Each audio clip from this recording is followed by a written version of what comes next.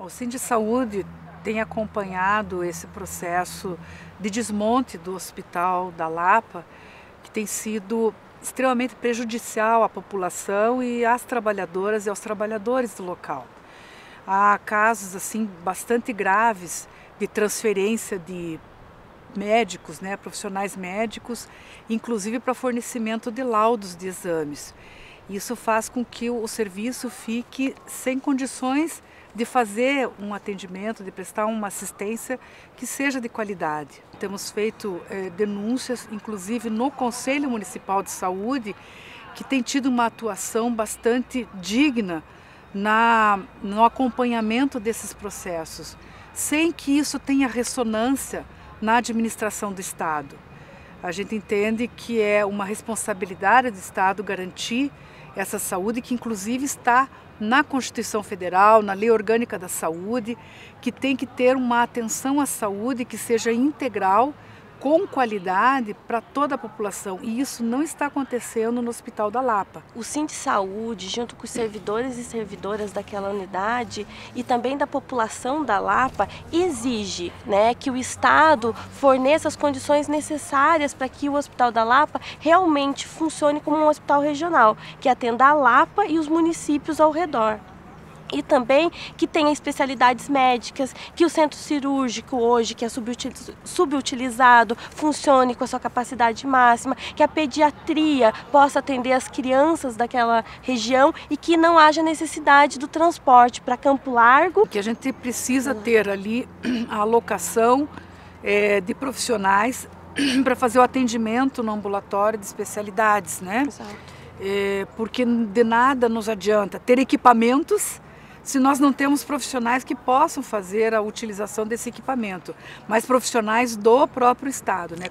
É, que sejam selecionados via concurso público. E um ponto muito importante da gente destacar é que todas as terceirizações que houveram naquela unidade, seja de lavanderia, cozinha, eh, não seriam necessárias, porque há servidores suficientes para fornecer esse serviço dentro do hospital o hospital ele faz parte da história da cidade da Lapa.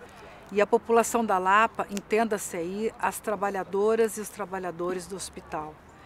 É necessário que a gente tenha uma revogação de todas essas medidas, tenha de fato uma implementação do processo é, de alocação de pessoas, de profissionais, é, para que o hospital seja devolvido à vida. Ele está agonizando. O desejo dos trabalhadores e trabalhadoras e da população é que todas as promessas realizadas pela gestão que elas sejam cumpridas, né? E que aquele hospital ele deixe de ser subutilizado e também não funciona de forma de um hospital regional por falta também de vontade política, de financiamento e de estrutura da unidade. Na saúde da Lapa, eu me envolvi já desde os, os 30 anos atrás quando, como servidora do Estado, eu comecei a trabalhar na Secretaria Estadual em 81 e nesses anos iniciais, onde não havia sindicato, a gente tinha uma associação e a gente já lutava por uma saúde de qualidade.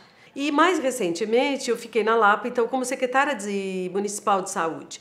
Com isso, claro, eu passei a conhecer muito mais, né, com muito mais detalhe, aquilo que ao longo da minha luta no sindicato e como profissional a gente já sabia. E o nó, o gargalo, o que, que é? A Lapa, com quase 50 mil habitantes, não tem um hospital. A reivindicação que eu abraço até hoje, que é da comunidade da Lapa e da maioria dos servidores, é de que a gente volte a ter na Lapa um hospital de caráter geral.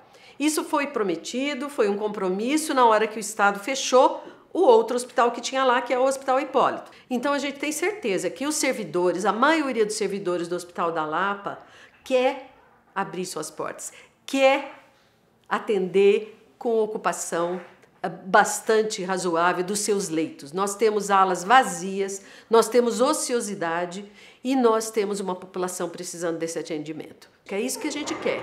Um SUS e uma Constituição Federal que está cumprindo 30 anos esse ano, a gente tem que se parabenizar. É um sistema que é para todos, de qualidade, que não pode discriminar ninguém e com participação popular no seu controle social.